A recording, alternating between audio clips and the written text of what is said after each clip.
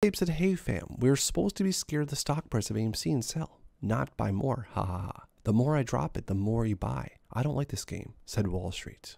CEO Adam Aron tweeted out, We have fun merchandise for Tina Fey's Mean Girls at AMC theaters right now, and this is showing some of the merchandise, which looks absolutely awesome.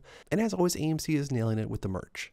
What's so cool about all the merch that AMC has been coming out with as of recently, especially for their movies and for the different seasons, etc., is the collectability is definitely there. People are buying these things and reselling them. This is a perfect, perfect match for what's going on in the theaters. This ape that I share knowledge because I want good to win.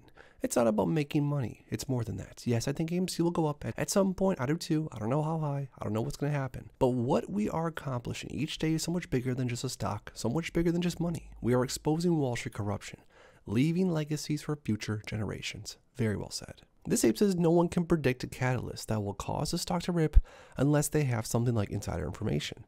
And it happens when it does. Like back in February 2021, AMC randomly moved up, and in May of 2021, no one Nostra stonked it until the move up decided if the stock is worth buying now. So this ape just reminds us all that we don't know when this thing's going to happen. We don't know if we're going to wake up some random morning in the next week, in the next month, and all of a sudden pre-market. AMC could be up 20%, 40%, 80%. We've seen this happen in the past.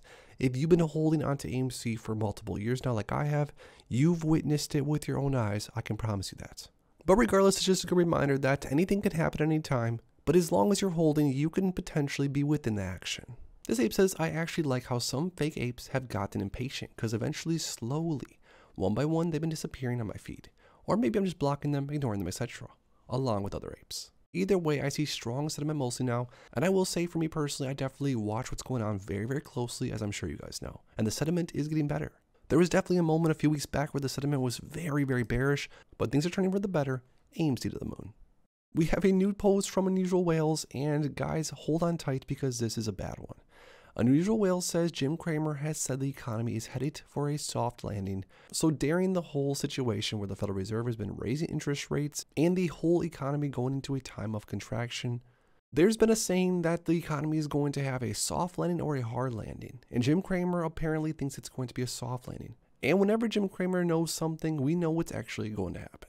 Make sure to check out all these other videos to catch up on all the latest AMC stock DD and information you need.